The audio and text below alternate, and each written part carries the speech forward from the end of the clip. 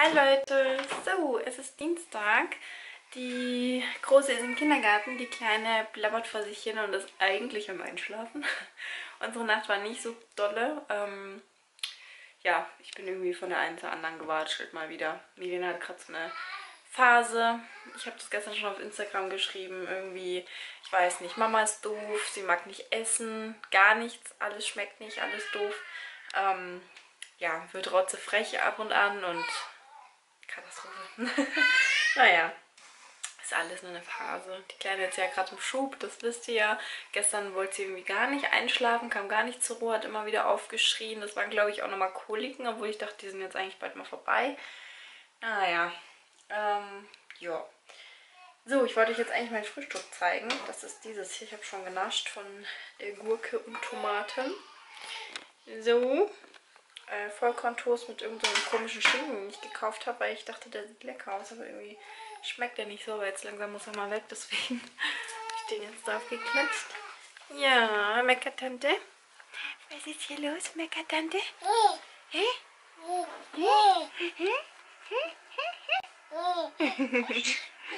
ja, was?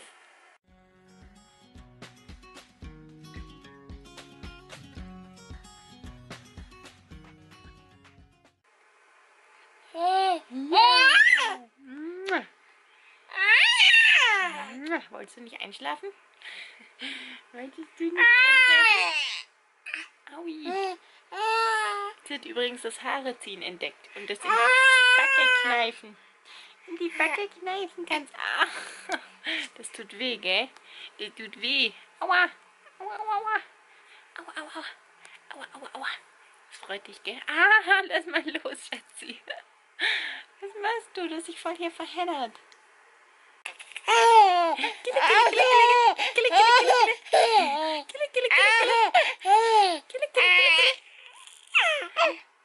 So, ich hole mal schnell mein Frühstück mit hierher, sonst komme ich nämlich wieder überhaupt nicht zum Essen. Gelle? Dann lacht sie.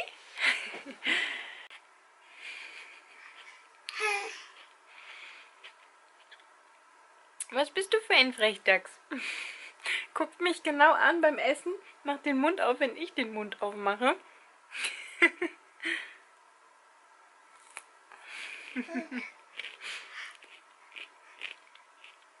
sie beobachtet jetzt schon ein bisschen länger so, wenn man isst.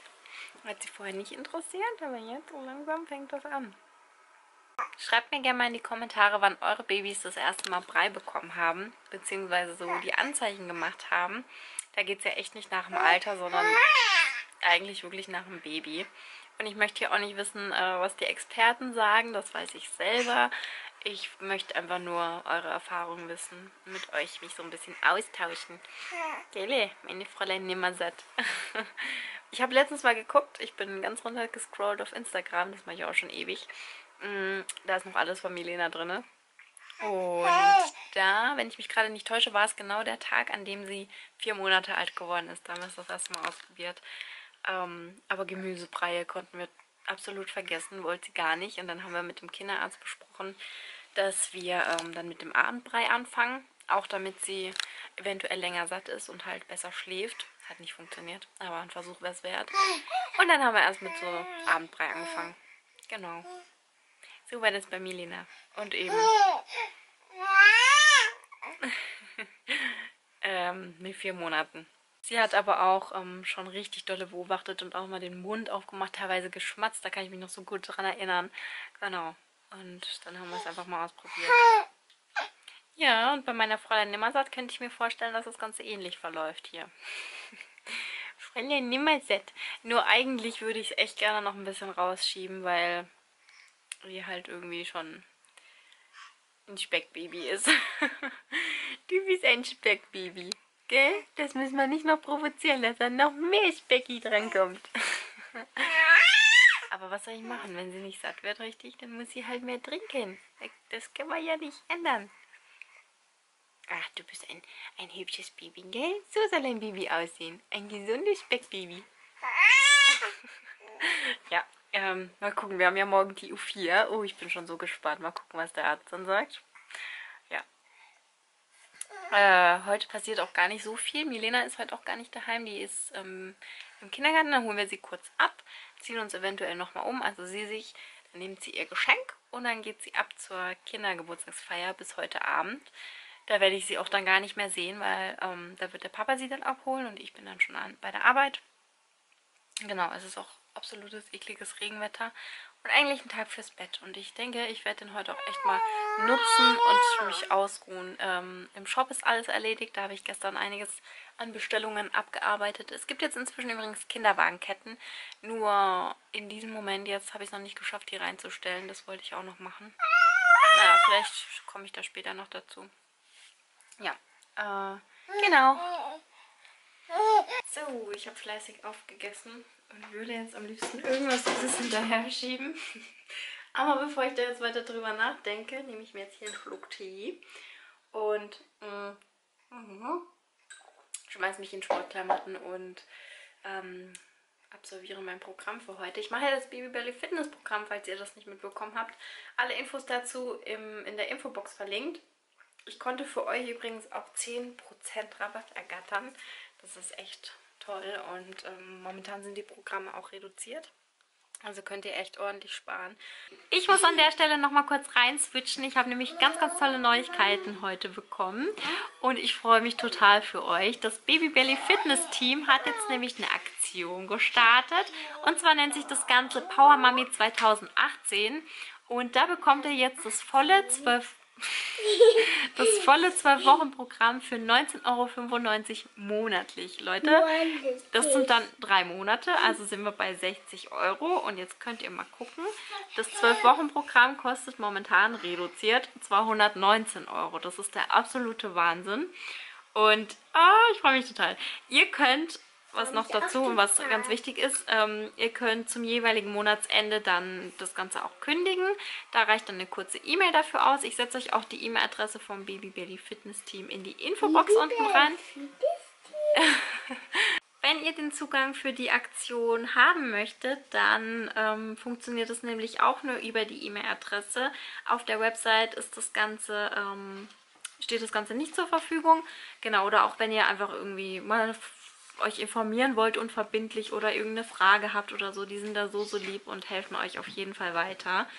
Genau, und ansonsten muss ich nochmal gucken, ob ich hier alles erzählt habe, was ich erzählen wollte. Mm, das habe ich noch vergessen und zwar ist es eine zeitlich limitierte Aktion. Also wenn ihr davon profitieren wollt, dann am besten sofort. Ähm, und es gibt auch nur begrenzte Zugänge von diesen Special-Zugängen. Genau, aber ich finde es klasse. Ich hoffe sehr, ihr freut euch. Ich finde es so, so toll und sage an der Stelle auch Danke an das Baby Belly Fitness Team. Und ja, jetzt geht's weiter mit dem Vlog. Ich finde das Programm super. Ich habe letztens auch ein, äh, einen Kommentar bekommen von wegen Jessie, pass auf. Ähm, nicht, dass die Milch dann weggeht und so. Ja, weil gerade bei Ernährungsumstellungen so sollte man schon aufpassen. Aber es sind alles Rezepte, die natürlich auch wo natürlich auch bedacht worden ist, dass die Mütter zum Teil halt auch noch stillen. Also das ist schon alles berücksichtigt. Das wurde mit Hebammen entwickelt, das Programm.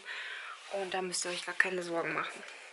Genau, so, dann schmeiße ich mal den Laptop an, schmeiße mich in andere Klamotten und dann geht's los.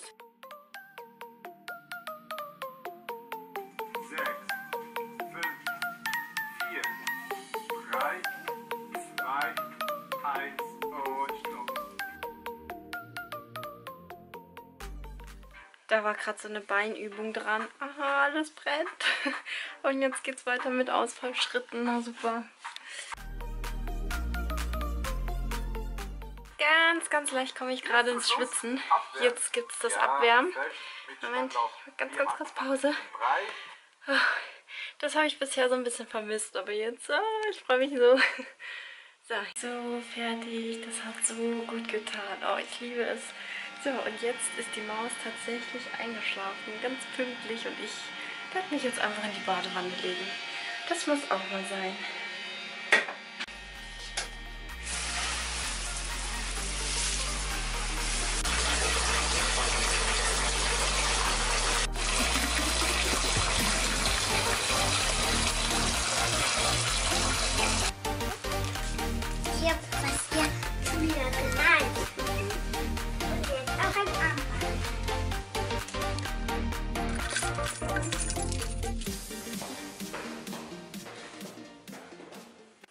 Schön, oder? Klitschnass sind wir. Milena ist klitschnass jetzt beim Geburtstag angekommen. Und die Mama ist klitschnass wieder zu Hause. Nur das Baby, das hat natürlich nichts abbekommen. Hat seelenruhig geschlafen, seit ich Milena geholt habe. Also eine Stunde. Ist jetzt wieder hellwach. Ja, freut sich, dass Mama sich jetzt nicht ausruhen darf.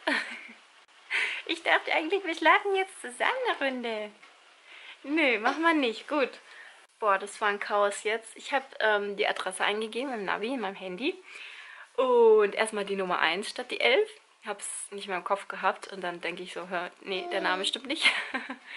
und dann ähm, habe ich meine Freundin angerufen. Die Töchter sind nämlich auch eingeladen. Hat sie gemeint Nummer 11. Okay, habe ich auch im Navi eingegeben. Oh, du spuckst. Was machst du denn hier? Ja, und wieder lachen. Was war das denn für eine Bombe? ähm, ja, dann bin ich zurückgefahren eben. Es hat mich zurückgeschickt, hat aber nicht gestimmt. Da war auch eine Nummer 11, aber es war nicht die richtige. Habe ich erstmal geguckt, Mist, wo parke ich jetzt, weil da konnte ich nicht stehen bleiben. Bin ich natürlich noch ein Stück weiter um die Ecke. Habe da geparkt, wieder äh, Baby raus und Kind an die Hand. Sind wir da hingelaufen, hat der Name auch nicht gestimmt. Und äh, inzwischen war meine Freundin schon da, die ist auch hin und her gefahren, hat es gesucht. Und ja, irgendwann haben wir es gefunden. Da sind wir dann hinterhergelaufen, dem Auto. Die waren nur viel schneller als wir. Aber wir haben es gefunden. Und dann alles wieder hochlaufen. Das Beste ist ja, es war eigentlich nichts, als wir los sind. Und dann steigen wir das zweite Mal aus. Auf einmal schüttet es ohne Ende, wirklich. Es läuft das Wasser die Straßen lang. Ich habe glitschnasse Füße. Milena hatte glitschnasse Füße. Die musste jetzt erstmal eine Strumpfhose vom Geburtstagskind nehmen. Oh, was ist das? Mama hat immer so ein Glück. Und Hagel noch. Zum Glück habe ich so einen Riesenschirm zu Weihnachten geschenkt bekommen. Einen Riesenschirm, da ging das noch einigermaßen. Wir wären nur fast weggeflogen. oh Gott, hey. Jetzt muss ich erstmal meine Socken umziehen. Die sind wirklich durch. So, ich habe Feierabend. Oh, ich hasse diese Dunkelheit.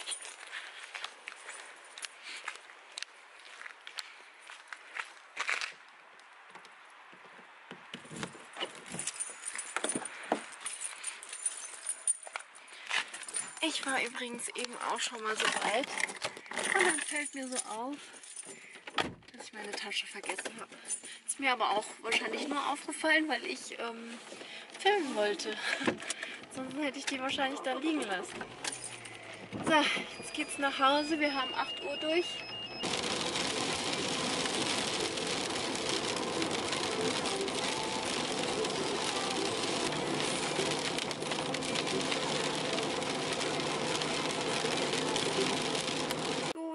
Morgen, neuer Tag und es gibt Neuigkeiten. Zum einen wurde die Besichtigung von der Maklerin gestern spontan noch abgesagt, weil es da irgendwie einen Streit gibt mit der Garage. Also bei dem ähm, Haus sind eigentlich zwei Garagen dabei, aber irgendwie will der Verkäufer die nicht mitverkaufen und ohne Garage kann das irgendwie gar nicht verkaufen. Blablabla, da ist irgendwie ein Streit und das muss jetzt erst geklärt werden. Und deswegen, ähm, ja, hat sie jetzt abgesagt. Okay. Ähm, Vielleicht soll es ja einfach nicht sein, weil wir ja immer noch auf eine Antwort wegen der Wohnung warten. Mal gucken. Ja, die zweite Neuigkeit. Ich habe Muskelkater von oben bis unten, wirklich. Ich spüre Muskeln, die ich noch nie gespürt habe, wahrscheinlich in meinem Leben. Oh mein Gott, aber genau dieses Gefühl, das brauche ich, einfach um motiviert zu bleiben. Das hat mir bisher auch gefehlt. Gut, das ist jetzt erst die zweite Woche, aber ähm, ja, irgendwie, das gehört dazu und ich brauche es und jetzt fühle ich mich auch trotz Schmerzen irgendwie voll gut. naja, ähm, ja, das war so alles jetzt. Ähm, ich wollte euch jetzt mal noch zeigen, äh, ob man schon einen Unterschied sieht ähm, im Vergleich zu der Aufnahme, bevor ich mit dem Sport angefangen habe. Das ist jetzt morgen zwei Wochen schon her, also innerhalb von zwei Wochen, ob sich da was, schon was getan hat. Wenn ich so in den Spiegel schaue, meine ich ja. Und jetzt gucken wir einfach mal zusammen. So sieht das Ganze jetzt aus. Also ich habe das Gefühl, die Muskeln hier oben, die ja schon mal wirklich da waren, ähm, die sieht man jetzt schon wieder deutlicher. Und ich habe das Gefühl, so im Gesamten ist es auch so ein kleines bisschen schmaler. Jetzt werden sich sicher einige fragen, wie es denn mit dem Gewicht aussieht. Ähm, das kann ich euch leider gar nicht beantworten, weil es schon immer so war, dass ich mich nicht wiege. Wenn ihr das erste Video zu diesem ganzen Thema hier gesehen habt, setze ich euch gerne nochmal in die Infobox, dann wisst ihr, dass ich mich gewogen habe. Hachi. ja, aber das ist einfach nur für den Vorher-Nachher-Vergleich. Dadurch, dass man beim Training ja auch Muskeln aufbaut, die mehr wiegen als Fett, ähm, kann man da dann auch sowieso wieder nicht drauf zählen und ich gebe sowieso nichts auf so eine Zahl, die mir da angezeigt wird. Ich gucke in den Spiegel, entweder fühle ich mich wohl oder eben nicht und dann tue ich was oder eben nicht. Genau. Also das war bei mir schon immer so und ja. Heute steht wieder ähm, eine Einheit auf dem Plan, diesmal ist es Rückbildung. Ähm, das Gute ist, dass man sich die Einheiten selber einteilen kann, wie man möchte, wie man Zeit findet, wie es passt. Bei mir ist es so, ich brauche einen festen Plan, weil wenn ich sage, okay, ich gucke mal, wann es irgendwie passt, dann, mm, mm, dann funktioniert das bei mir nicht so ganz. Deswegen habe ich mir jetzt die Tage Samstag, Montag, Dienstag, Mittwoch ausgesucht und da mache ich dann immer meine Einheiten. Und wenn ich mal jetzt Donnerstag oder Freitag auch noch Lust hab, dann kann, äh, habe, dann kann ich das Ganze nochmal wiederholen. Und genau, so funktioniert das bei mir am besten. So, jetzt wird aber aufgehört zu plappern. Ähm, wir machen uns jetzt fertig. Wir müssen nämlich auf in den Kindergarten. Yeah. Und? Yeah. Und komm, komm, komm, komm.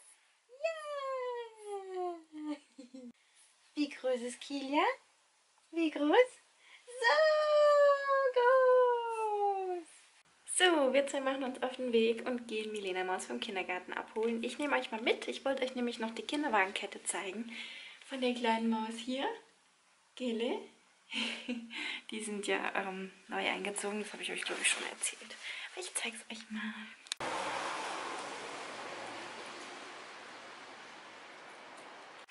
So, wir sind gerade von der Untersuchung wieder nach Hause gekommen. War alles in Ordnung soweit. Mm, die Maus wurde halt auch das erste Mal geimpft. Ich will jetzt gerade mal gucken, wie die Maße bei Milena damals waren.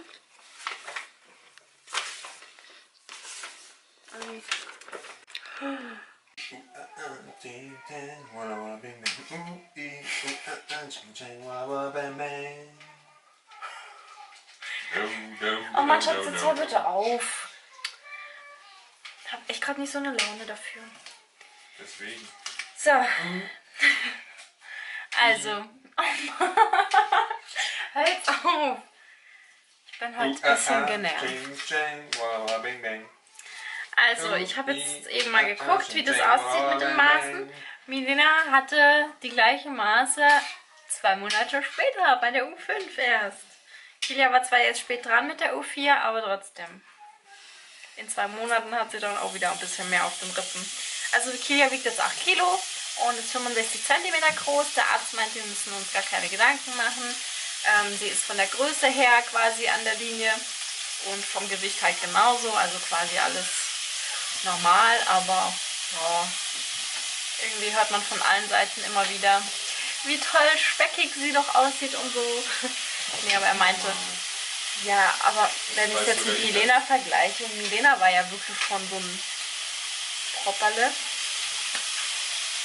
Naja, Lena sagt, wir wollen uns keine Gedanken machen, machen wir uns auch keine. Und ansonsten war alles super, habe ich glaube schon gesagt. Wir sind jetzt gerade am Kochen. Heute gibt es äh, Hähnchencurry mit Reis. So, das Fleisch und die Paprika sind schon mal hier am Anbraten.